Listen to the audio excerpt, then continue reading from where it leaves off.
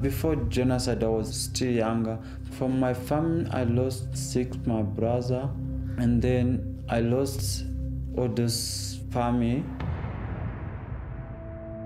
The most devastating circumstances can yield the most powerful forms of hope. During the 94 Rwandan genocide, itself a result of colonial meddling to create to segregate the population into ethnic and class groups, ultimately creating tension, an average of one Rwandan was killed every 10 seconds for 100 days. For Rwandans trying to escape the Holocaust, a bicycle was worth its weight in gold because for a nation with almost no cars, a bicycle wasn't just a convenience, it was salvation.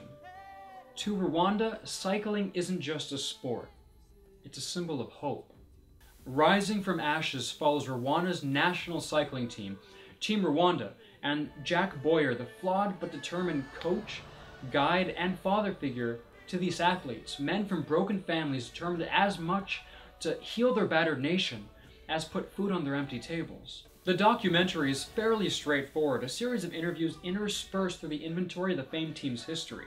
But what it lacks for an innovation or creativity, it more than makes up for in an inspiring, heartfelt, earnest tale. And each of the team's five founding members are fully fleshed out protagonists. They are unique and united. Broken men, rebuilt. One example, Adrian, the figurehead of the team, lost 60 family members during the genocide. Each cyclist grew up in this harrowing time, and Rwanda's troubled past permeates the unfolding events a phantom overshadowing the country.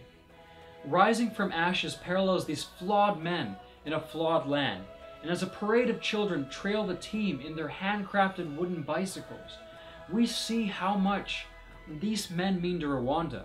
And as Adrian crosses the finish line at the Olympics, I see how much these people had come to mean to me. In summation, Rising from Ashes, while at times conventional and safe, is never insipid. It's a powerful story of relatable characters with potent visuals and an impressive score. It's worthy of your time.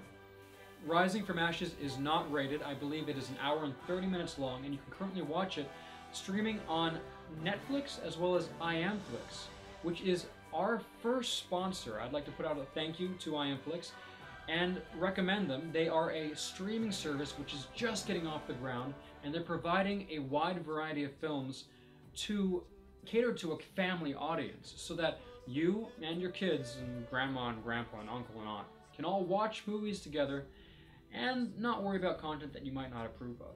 So, if that's for you, definitely check it out. That is iamflix, I-A-M-F-L-I-X dot com. Thanks for tuning in, everyone, and we'll see you next time.